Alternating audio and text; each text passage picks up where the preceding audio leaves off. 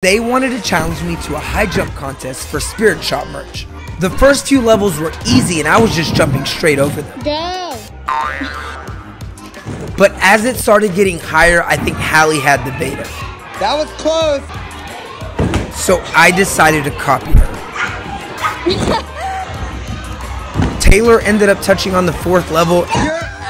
And I knew I had to make this one. I was feeling super confident, but Hallie kept making them also. And then she tried to accuse me of touching the mat when I know I didn't. We got down to the final level and it was taller than Hallie. She wanted me to go first, so I had to set the bar. I made it smooth over, so it was up to her now. Oh! And once again, I came out on top. Guess who didn't win, kids?